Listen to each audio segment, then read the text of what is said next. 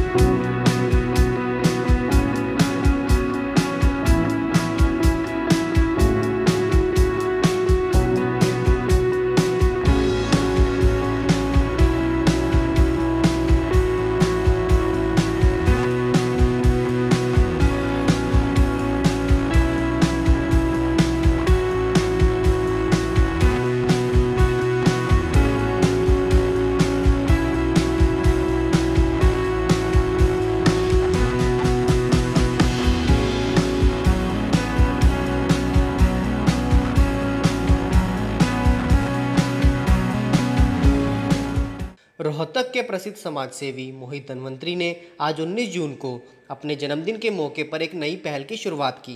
इस दौरान बाबा करणपुरी ने मोहित धनवंतरी को जन्मदिन पर आशीर्वाद दिया और साथ ही आलू पूरी वितरण में भाग लिया। मोहित धनवंतरी ने शहर की विभिन्न जगहों पर छबील और स्टॉल लगाकर आइसक्रीम आलू पूरी व कोल्ड ड्रिंक वितरित की।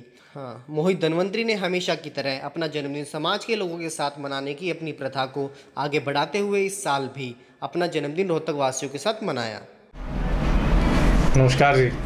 जैसे कि आप लोगों को पता है कि आज मेरा जन्मदिन है और आपका भाई हूँ, आपका बच्चा हूँ, आपका स्नेह इतना मिला मुझे। और जैसे कि आप लोगों को पता भी है कि पिछले साल 19 जून 2018 को मैंने पूरे रोहतक शहर में पाँच रुपये पेट्रोल और डीजल, पाँच रुपये प्रति लीटर सस्ता करवाया था। उसी तरह इस बार भी मैंने विचार किया कि क्यों ना ये जन्मदिन भी आज मैंने अपने रोहतक शहर वासियों के साथ क्यों ना मनाया जाए? इसीलिए, क्योंकि रोहतक शहर मेरा परिवार है, मेरा घर है, यहीं मैं पला बड़ा बड़ा हुआ हूँ। अपनी संस्था के साथ मिलकर उन्होंने भीषण गर्मी व लू को देखते हुए जनता को राहत देने के लिए स्टॉल लगाकर आइसक्रीम, आलू पूरी व कोल्ड ड्रिंक वितरित की। मोहित धनवंतरी ने कहा कि प्यासे को पानी पिलाने से बड़ा कोई पुण्य नहीं होता। भीषण गर्मी को देखते हुए समाज को एक होकर लोगों के लिए रोज़ाना पानी की व्यवस्था करनी पड़ेगी, ताकि आमजन को गर्मी से थोड़ी राहत मिल सके। समाज सेवी मोहित धनवंतरी ने कहा कि गर्मी से आम जनता का बुरा हाल हो गया है। ऐसे में अपने जन्मदिन पर मैंने एक नई पहल करने का निर्णय लिया और रोहतक वासियों के साथ अपना जन्मदिन मनाया, जो मेरा ही परिवार है। उन्होंने कहा कि आज शहर के बजरंग भवन, दुर्गा भवन मंदिर, गुहाना अड्डा, शिवाजी कॉलोनी, पावर हाउस आदि स्थानों पर लोगों को गर्मी से राहत देने के लिए पानी की व्यवस्था की गई।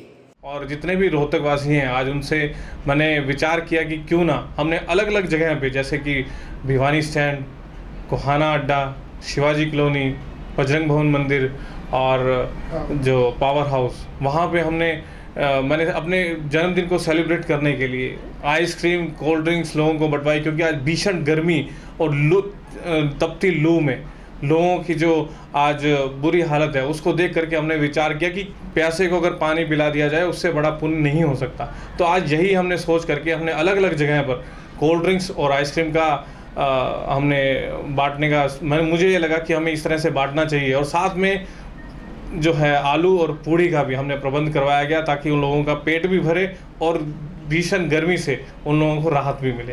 तो हमने कोल्ड ड्रिंक्स और आइसक्रीम भी बटवाई। मैं अपने पूरे रोहतक वासियों से सिर्फ़ यही प्रार्थना करता हूँ कि अपना प्यार और स्नेह मुझे हमेशा इसी तरह बनाए रखें।